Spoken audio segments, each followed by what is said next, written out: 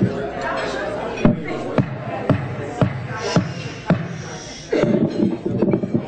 evening. Welcome to the membership meeting of the Cooperative and Condominium Advisory Council. I am Jeff Hanley, Associate Director of the CCAC and our parent organization, the Building and Realty Institute. On behalf of our chair, Diana Verrill, and our vice chairs, Jane Curtis and Angelo Ponzi, welcome. A couple of program notes before we begin our presentation. If you have not filled out our registration green card, please do so as you are leaving this evening. We would appreciate that.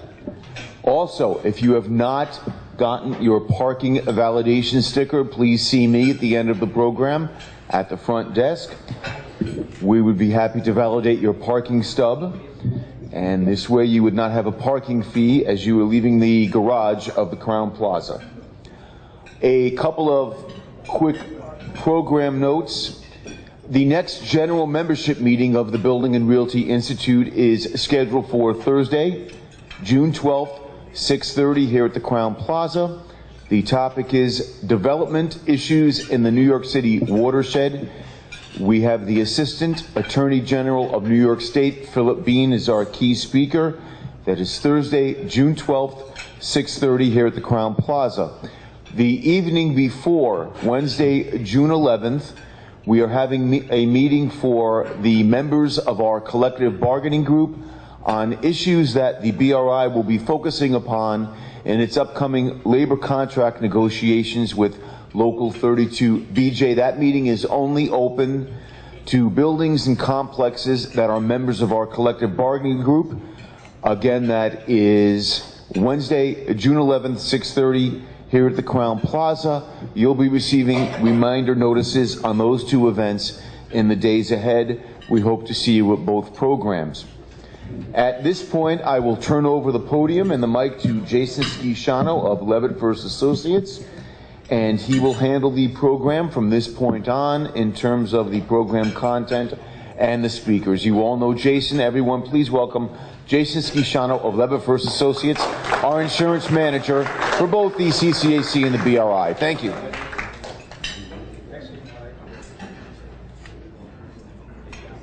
Hi, good evening. I'm Jason Schiciano. I'm co-president of Levitt Fuirst. The other co-president of Levitt Fuirst, Ken Fuirst, is right over here. You came to support us this evening. Thank you, Ken. And I'm here this evening with Peter Anderson, who's uh, Director of Risk Reduction Services. Risk Reduction Services is another company uh, formed by Levitt Fuirst uh, for reasons that you'll hopefully understand much better at the end of our, our, our presentation. Uh, this evening, we wanted to explain to you why the insurance certificate is not enough and to hopefully uh, have uh, instill upon you a better idea of what risk transfer for contractors working at condominium and cooperative apartment buildings is all about.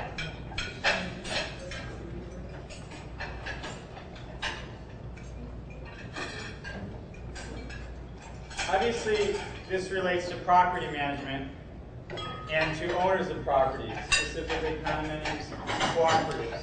I know many of you read the Cooperator magazine, and it often has many uh, excellent articles relating to insurance issues. There was an article recently uh, entitled Escalating Insurance and Your Contract.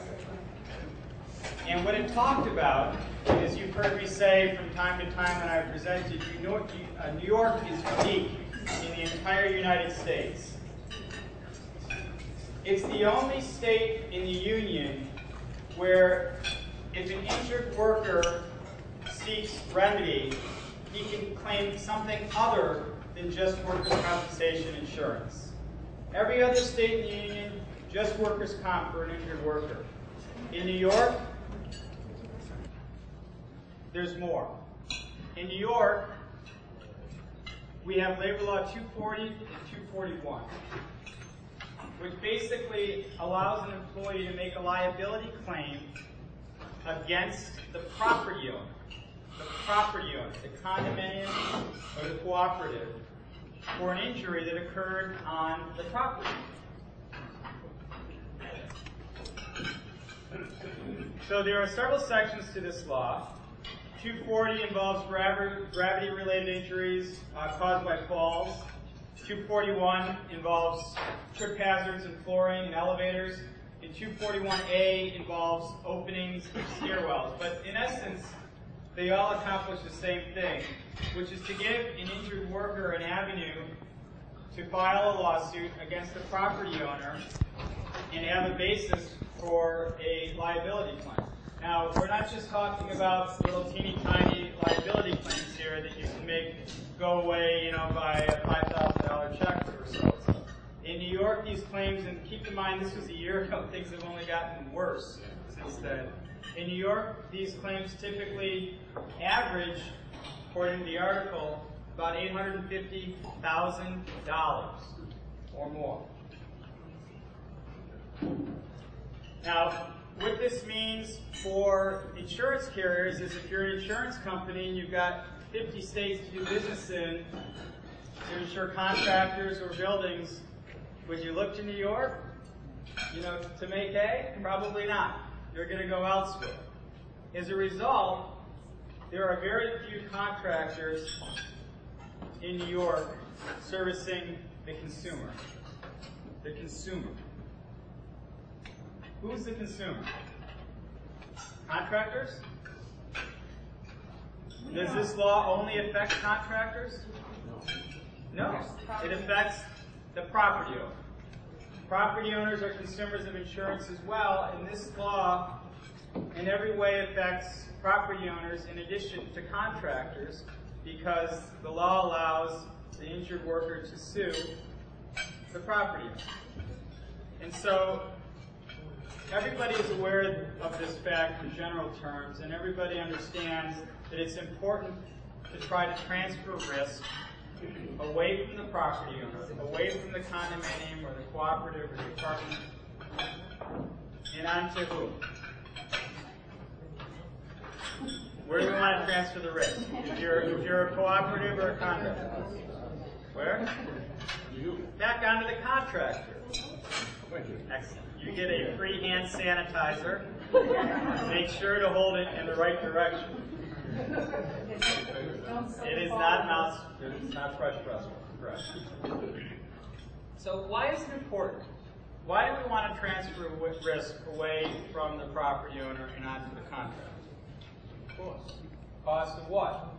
Cost of insurance.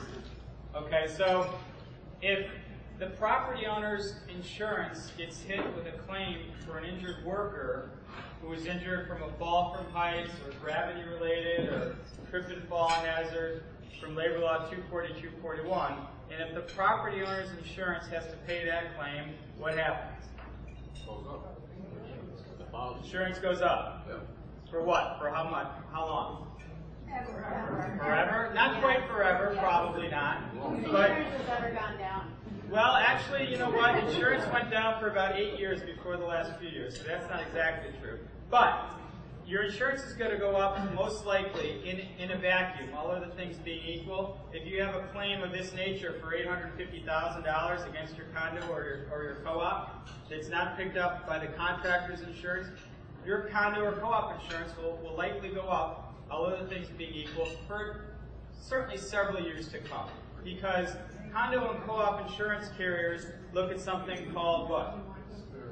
Experience. What, what kind of loss experience, right?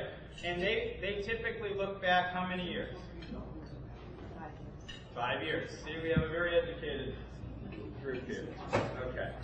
So risk transfer is critical because you don't want an $850,000 claim on your condo or co-op loss experience for five years affecting your insurance premiums.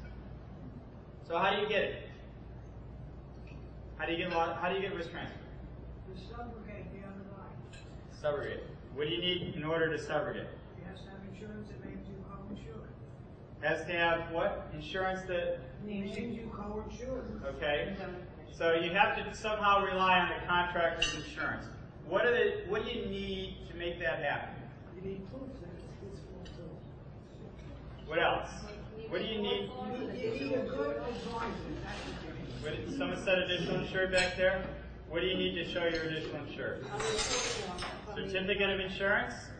Certificate of insurance from who? From the contractor showing the property owner as additional insured. Additional insured. Okay. So, here's the certificate of insurance. Does everybody recognize this? Everybody recognize this document? You looked at it carefully hundreds of times, right? You ever read this portion? No. It's the portion in big black letters at the very top. Bold print. I'll read it for you.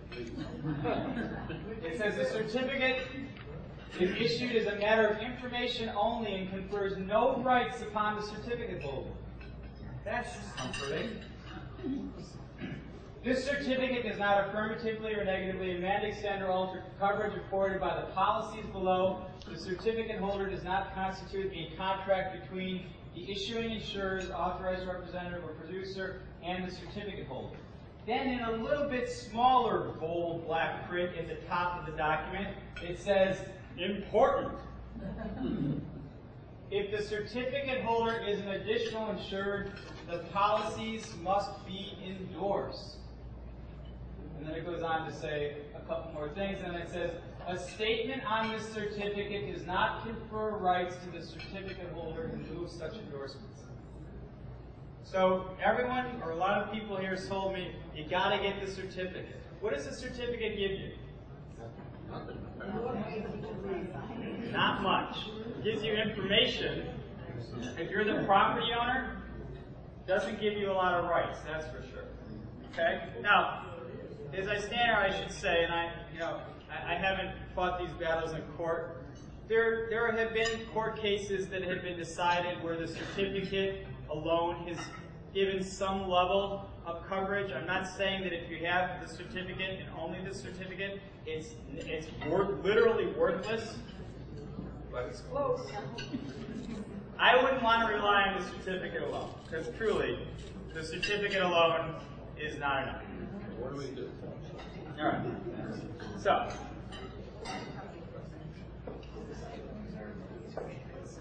Certainly, the first thing that you need to have, and whenever you file an insurance claim, the very first thing that your insurance broker's claim department get, gets asked by the carrier that's asking that's being asked to provide coverage is a contract. If you are doing business with contractors on a handshake or a verbal contract, or you've been using them for years and you just notice to show up in the spring and start cleaning the shrubbery and beds and whatnot, and clouds of snow and you know whenever it snows, you should have a written contract in this day and age. You should also have certificates of insurance because they do evidence and they're issued by the insurance broker. And if the insurance broker is reputable, then hopefully he's not issuing an insurance certificate that is false or um, is, is, is uh, exhibiting information that's not true. So at least with the certificate, you know that the contractor has insurance and that the insurance, assuming the premiums have been paid, are, is in force for the terms uh, for the uh, term listed on, on the certificate. But the other key document, and it may be embedded in the contract, is the indemnification and insurance requirements agreement. So the three things, a contract, an insurance certificate, and an indemnification and insurance requirement agreement.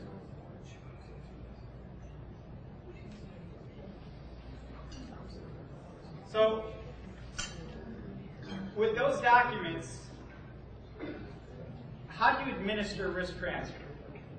Because when you think about it, if you're a condominium or a cooperative, you've got a lot of contractors.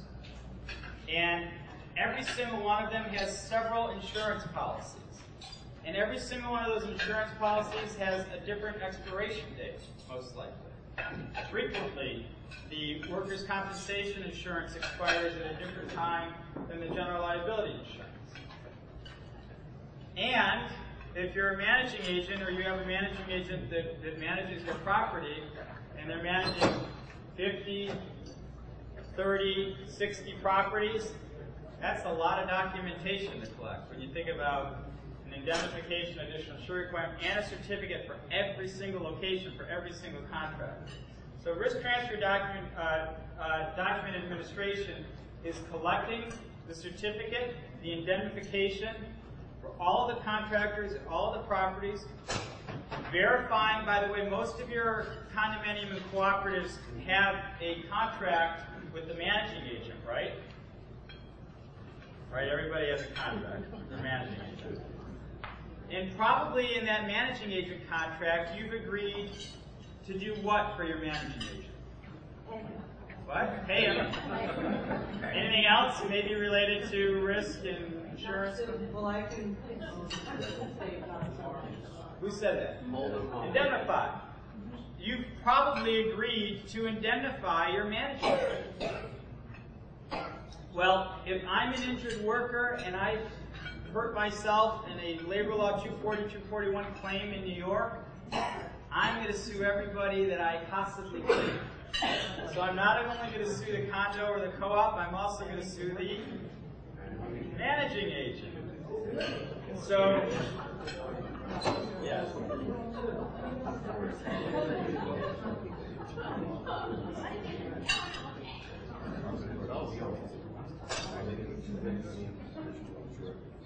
It certainly doesn't hurt. And, and on the kind of co-op policy, the board is automatically covered.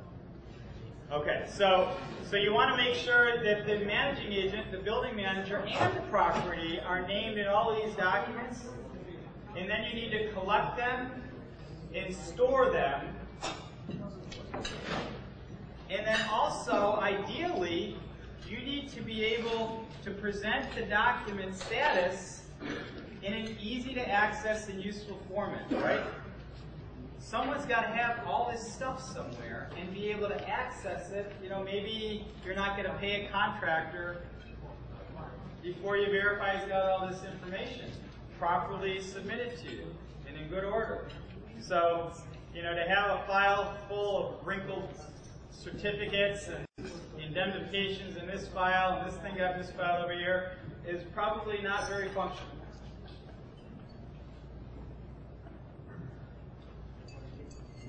So, as we've discussed, you need a certificate of insurance and you need the indemnification and additional insured requirements, but you need to be able to have access to them, to be able to know what they say and how long they're valid for, etc. You need to make them useful. And so the question is, now that I've educated you, for those of you that didn't understand what risk transfer was and how to accomplish it, the question is, how do you accomplish it? I'll have Peter go into this this point. Thanks, Peter. Good evening, everyone. So, we've talked about the risks you're facing, the stresses involved in collecting this information. Um, so the question becomes, what are you doing now? And how successful are you in what you're doing? So are you currently collecting certificates of insurance? We talked about they're not the be-all and end-all, but they are important. They verify insurance. They verify the coverage for a policy term. And are you collecting the indemnification agreements from all of your contracts, from anybody that's coming on your property and doing work?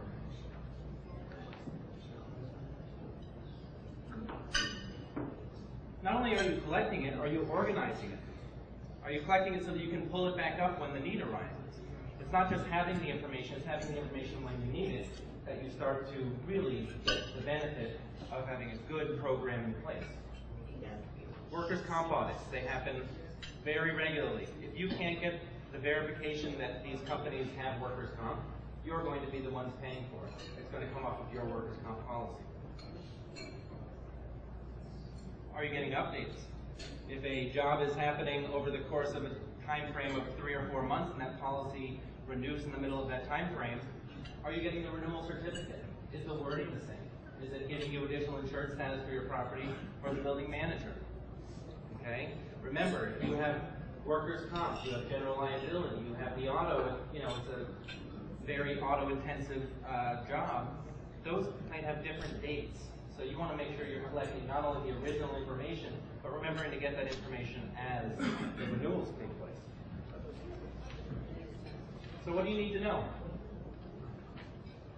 You need to know, first of all, the, con- the contact information for all of your contractors. Very simple, very straightforward, but you need to be able to access that information at any given moment.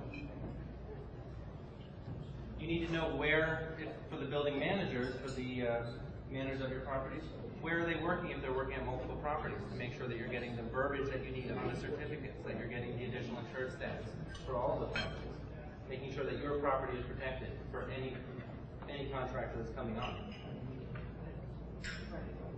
Now, as we've discussed this quite a bit about what you should collect. The indemnification, we've spoken a lot about the indemnification insurance requirement agreement. It works as an agreement. The one thing that a certificate truly lacks is it's not a contract.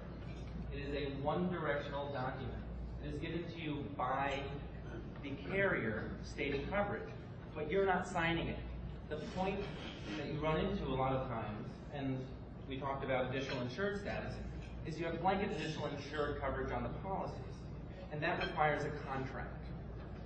This can work as a contract as well as the original contract for the work being done. But if you have a, a co-signed document, a indemnification insurance requirement agreement, it protects you and it gets you that additional insured status that you're looking for. Certificate of insurance. Generally, you like to have 1 million, 2 million on your basic certificate of insurance. That is the standard for most of your commercial contractors. You'd like a million dollars auto, especially for those contractors that are auto intensive. Okay, if their vehicles are heavy vehicles that are coming on your property, you want to make sure that if they hit five of your vehicles and one of those vehicles, few vehicles happen to be BMWs and Mercedes, they have the coverage to protect you. Or if they hit, God forbid, one of your, you know, tenants. Umbrella. Clearly, a great idea to have an umbrella for all of your contractors. It's not going to happen for your smaller contractors, but it will happen for any of your large jobs. You want to make sure for any capital improvements, for any of those situations where large work is being done, roofing work is being done, anything that can have large potential claims, you want to make sure that you have an umbrella policy in place for that. And workers' compensation. Um, we're going to talk about this a little bit in a minute. Workers' compensation is required for any company that has employees. But you will notice there are going to be a lot of sole proprietors that come onto your property, individuals that do work, and they do not have workers' compensation. We're running into very large increases in workers' compensation premiums, and for a sole proprietor, it is cost prohibitive to have a workers' comp policy. There are risks associated with that. But as long as you understand the risks, it gives you some idea whether or not you want to let them work on your property or not. The primary concept with sole proprietors is that they don't have the workers' comp themselves, so it will fall onto your policy at audit. So if the workers' comp for your building, uh, if they do a large amount of work, and a lot of that is based on their uh, effort, not supplies, that will come onto an audit for you.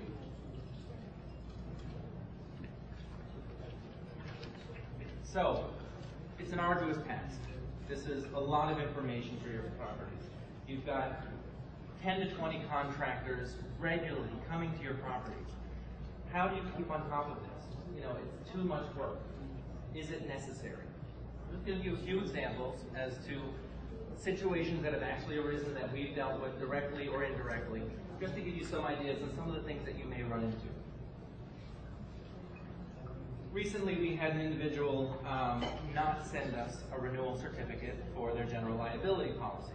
And they were doing quite a bit of work, including roofing work, for one of the property managers in the region. We went, we talked to them back and forth. It turned out that their general liability policy was too expensive. They just didn't renew their policy. It was that simple, but it happened in the middle of the season, and the building manager if they hadn't asked, wouldn't have known that they just didn't do it. And they were not going to renew that policy regardless of getting the job. Proactively, you can address such a situation and make sure those people are not working on your property. It is far too much risk. Why did the board like him? Anybody? He was cheap. He was cheap. Why was he cheap? He wasn't paying for insurance. That happens during the course of a job that doing for you. You have recourse? Well, if he cancels in the middle of the term, it's very rare for you to have much. You know, you're not going to find out about it. Um, at the bottom of the certificate, it says um, you'll be notified by in, for cancellations as per the policy, and the policies do not notify for certificates holders for the most part. So there are, just you know, there are there is no perfect solution for any of these things. That's why you have your own insurance. Our goal is to make sure that you do everything you can so that when the renewal comes up, if there is a claim, you can say, we set these processes up. There's no foolproof method, but you want to make sure that at renewal, you are getting that information so that if something, you know, God forbid, one of your contractors decides not to renew, you're catching that then. And the renewal certificates are strictly always a twelve month period? I'm sorry? The renewal of the Correct. strictly twelve months? Yes, auto, personal auto, that some of the smaller contractors use will be a six-month period, but everything else is gonna be a twelve-month period.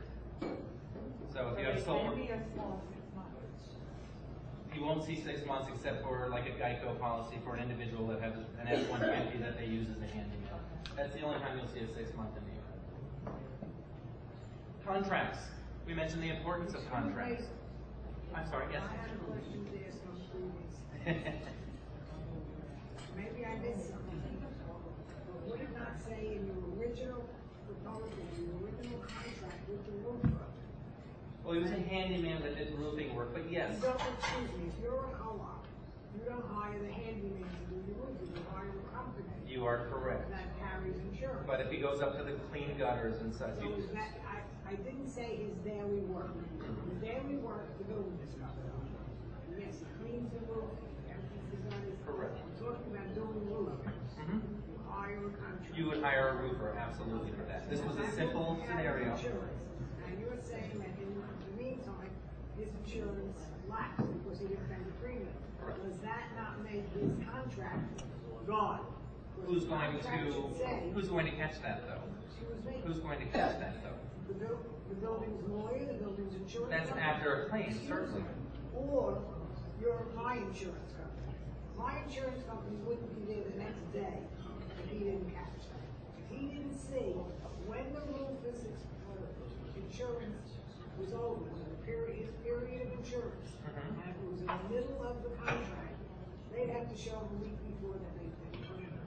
How do you let them come into a building that's worth millions, do a roof and not have insurance?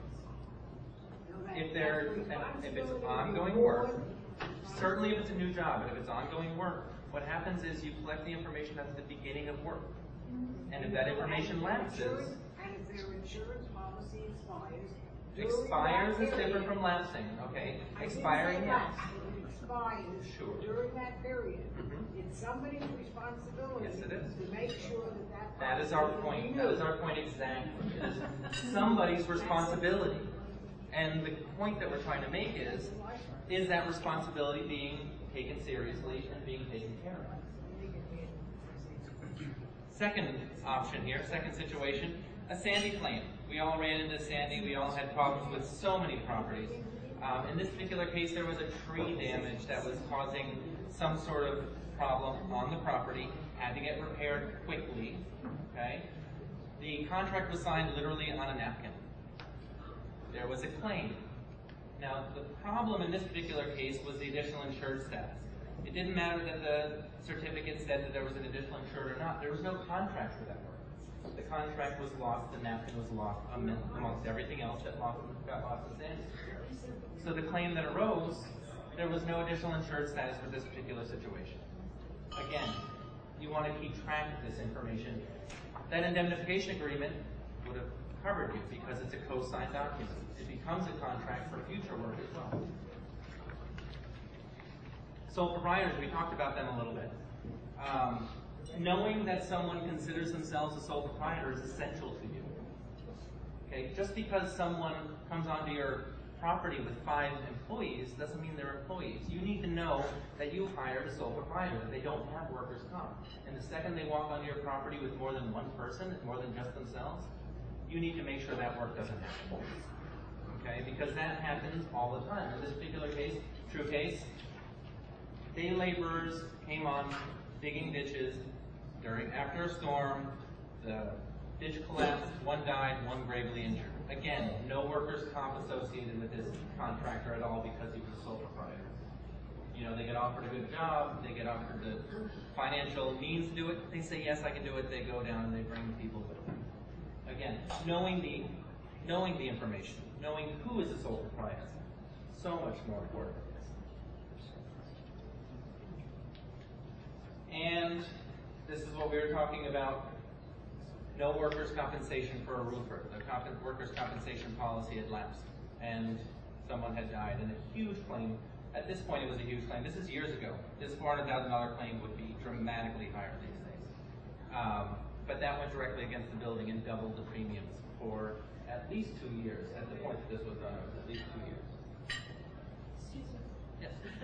In this case, was, was the claim valid because the roofer claimed that there was something unsafe that caused him to fall, or was what really happened? injuries are injuries. You know, there's going to, there, there was no workers' comp to protect him.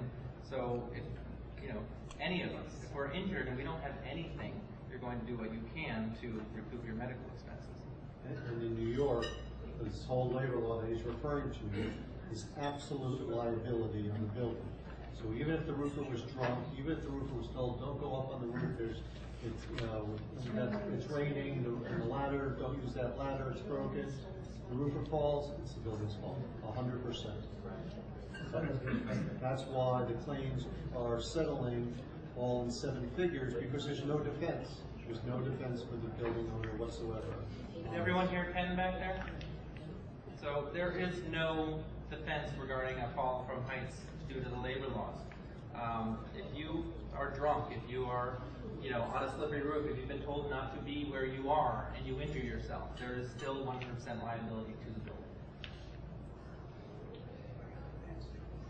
building. So, risk transfer, making it happen. We've talked about all the scare tactics. We've gotten you nervous about it. So what do you do?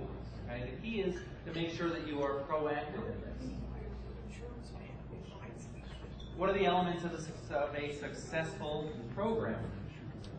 You're collecting the documents up front, absolutely essential. You have an indemnification agreement that you have agreed on, your lawyer has agreed on, that is an acceptably worded indemnification agreement. You're collecting it from everybody. You are organizing these documents so you can access them. Again, having the documents are very little importance if you can't get them when you need them, when the audit comes, when the claim comes. It's the ability to gather that information at the time of need. And monitoring and updating. You have contractors coming in this month, and then they come in in two months if their policy lapses in the middle or their expiration date. You've got to make sure to get their renewal policy. If they're coming throughout the year, you might have two or three expiration dates that you have to make sure to collect that information. Usually it's no more than three. That's the worst case scenario. It doesn't happen. So, how do you do it? Internally within the organization, there are some options. Paper tracking is the standard, and it's a little bit terrifying to those of us that do this for a living, because you have a file drawer, and you put everything into the file drawer, and you have it labeled by contractor, or by date, or by building, or by whatever the case is. But the difficulty here is getting the renewals of those certificates. You don't know when those certificates are renewing because you put them in as you've gotten them. We run into this all the time. It's a scary proposition. Do not recommend the paper option. Database tracking, a little bit better. At least you're keeping track of your contractors using date, you know, basis for all of it. At least you're getting general liability and workers' comp. You're making sure to ask them for that information, collecting that information, storing it. At least if you're using it on the computer, possibly scanning the information so you can access it later. You're giving yourself the, really a leg up on those people that have the document paper-based. Property management software. Some of the programs out there that manage the particular properties will have don't pay unless, you know, this is checked unless it's, you can put a date in there for some of them. Um, so you will pay up until a date, but that date could be the general liability expiration date, for example. So you can make sure that no checks are going out of your office after a particular date unless you get the renewal and then you move that date forward. So they have simple tools within those programs that may assist you. There are third-party options out there. Okay, you're going to have to go onto the web and look. There are several programs that do this. Some will sell it directly to the property manager or to the building. It makes the use a little bit easier. It gives you places to put the information that you need to call up later. You still have to store, you still have to access, but at least this gives you some of the tools. And then there are external programs. And an external program are going to be full service providers that take that tool away from you, take the process away from you. Um, development of tools. There are several of us out there, risk reduction being one of them, um, where we actually do the collection for you and let you know when a contractor is in or out of compliance. And that allows you to directly work only with those contractors that are in compliance. So the conundrum. Jason? Just to finish up, before I uh, conclude, I want to make sure that everybody understands, based on the certificate that I showed you earlier, that certificate alone is not enough. What else do you need? The contract, and the contract has to have in it an indemnification. Indemnification, a hold harmless, basically says the contractor is going to protect you if a claim arrives from an injury from his worker. And it also says additional insured status, right? I agree to name the property owner as an additional insured. It's that trigger for coverage in the contract that gives you the additional insured, status. That's why you need both, okay? But the conundrum is this. It takes a lot of time, it takes a lot of staffing, and all of those things relate to money, right? Now, those of you that are associated with a condo or a co-op in here, do any of you do this on your own, meaning the condo's board or committee members? Or show of hands, does anybody do this on their own? You say on your own. If you're if you're if you are a uh, unit owner or shareholder in a condo or co-op, or if you're on a board of a condo or a co-op, do you actually self-manage or do this stuff on your own? Raise your hand. Okay, a couple a couple do. And then if you rely on your managing agent or property manager to do this, raise your hand. Okay, several more. And that's pretty typical. There's a lot of condos and co-ops that either because they're smaller or because they're saving money, they're self-managed, and they have to do this on their own.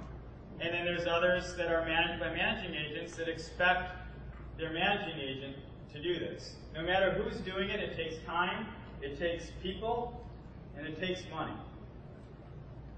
And the question is, after what we showed you, can you afford not to do this well? You can afford not to do this well as long as there's not a claim. And for, frankly, most of you, most condos, most co-ops, frankly, you won't have a claim. I don't know what the percentage is, maybe in 100 years or 50 years, maybe 10% of you will have claims, 90% won't, maybe it's 80-20, I don't know. But mark my words, you don't want to be the other 10% or 20% that has a claim, and you don't want to be a shareholder or a unit owner in a condo who gets the increase in your maintenance costs or your common charges for the next five years to pay the premiums, which, as Peter said, potentially, and I've seen it, not only double, I saw one triple this year. You don't want to be in that condo or co-op. So, if, if you're not sure how your condo or co-op is addressing this right now, find out. Protect your property by taking control of your risk transfer documents. And if you're not sure, but you're interested in taking the first step by just knowing what these documents look like because you walked in here thinking that it was the certificate alone, it's all, all that you needed. And we didn't even get into, by the way, the details that need to be on the certificate and how it needs to be marked off because that's just boring. But if you want, come up to Peter or myself. We'll be around for a couple more minutes. If you give us either a card or your contact information, we will email you a sample indemnification hold harmless agreement and a sam sample certificate of insurance like the ones we flashed up on the screen, and you've got that as a first step. So what exactly applies to we're talking about with this risk management? We had Peter do it. Could you Who's your, the who's your, the question was how much does, how much does it cost to risk reduction services? Who's your managing agent? It? Okay, so we, risk reduction services actually contracts through managing agents. A number of managing agents in Westchester use this service, and obviously some don't, but they've got other ways to do it. And what I would ask you, because of the way we're set up, either as, have your, have, you know, uh, as a board member, contact Peter. His business card is there, he can go over pricing with you, it varies, but really the service is through the managing agent services through the, what we're trying to show here tonight is just the importance of collecting the documentation and the documentation that you actually need to collect in the format that it should be in. Any other questions? Yes. We're a managing agent for condominiums. We do have hold harmless agreements with owners when they hire a contractor. And we, of course, get the, the, the insurance and all that. But we don't collect their contracts. As the risk uh, transfer company, would you collect the contracts that the owners within the condominium sign? Right. So the, the, the question is, there's, there's two types of contractors that come onto a property, right? There's the contractors servicing the actual co-op or the actual association, and then there's the contractors that come in basically on a private basis to do work like, you know, unplugging a toilet if that's their responsibility, or to do renovations inside of a unit. type- That type of thing, right? Right. The, fir- the first question I have is, do you collect, do you collect the, uh, both documents, the certificate and the indemnification for all the service contractors that are servicing associations? Yes. Yes, okay. So that's, that's, you know, in terms of the association's insurance, that's arguably the bigger exposure. Um, risk reduction does not collect for unit owners or shareholders doing work inside the individual units. But we can help you develop a system in order to do that. And we've been asked to do that on a number of occasions. So the, an owner signing, when they, they're gonna have a contractor come onto the property, that if it's, say they're doing a renovation, they actually sign a renovation document that says that they will hold the condominium and man- Yeah. company harmless. But I'm not sure if I'll give you- holding us Right, here's, that's a great point. So here's some, here's some guidance on that. Your, your point is that when, the managing agent is tracking and a contractor that's going into a unit to do work inside the unit, you have the unit owner hold the association harmless. And you're, you're exactly correct. I would not want to rely on the unit owner and the unit owner's net worth and the unit owner's maybe $300,000 worth of liability insurance if they have insurance.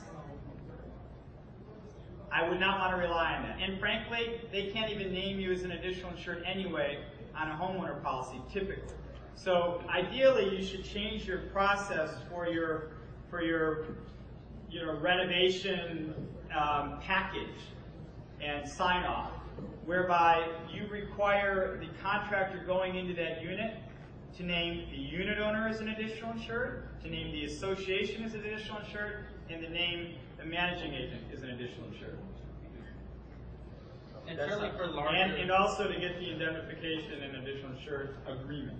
And certainly for larger renovations in an apartment, doing the whole process, getting that indemnification agreement as if they were working for the association is absolutely a good idea. You know, if they're just doing, you know, a small kitchen rent, that's one thing. But if you're talking about doing a large renovation, you need to treat them as if they are working on your property, um, because it really can affect a lot.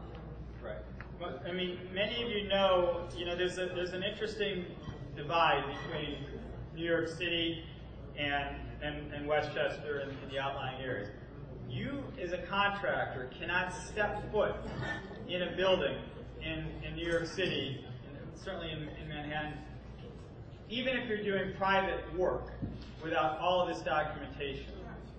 So in Westchester, it's much more difficult because many of the properties are sprawling and there's no way you know if a contractor, there's, multiple ways in as opposed to one way in.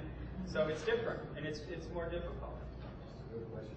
Would you say that the uh, rules, regs, and requirements are, should be all encompassing in an alteration agreement, which Department of Condo should have and be able to give to homeowner, as part of. Yeah, the repair renovation package for a unit owner or shareholder should definitely encompass all of the uh, risk transfer documentation requirements that we've discussed this evening. Yes, that would, that would be a really good idea. Anyone else? Thank you very much.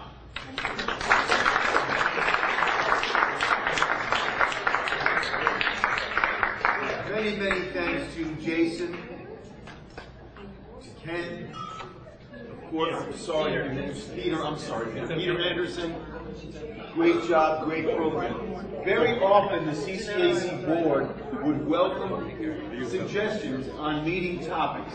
If you have any suggestions on future topics of our association, feel free to contact me at the BRI.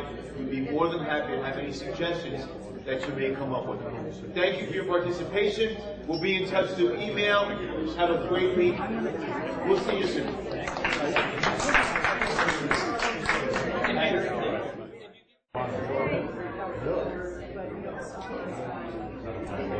I looked here one time. Thank you.